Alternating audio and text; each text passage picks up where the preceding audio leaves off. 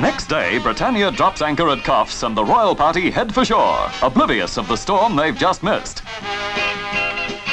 After their picnic lunch, the visitors are keen spectators at a surf carnival. 35,000 people are there for the event, but the royal family themselves are the main attraction.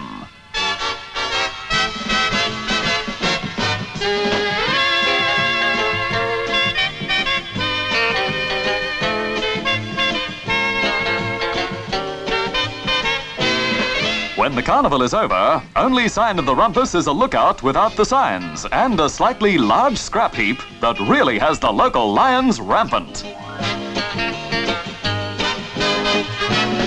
The summer shark threat may no longer be rampant, but a catch along the Australian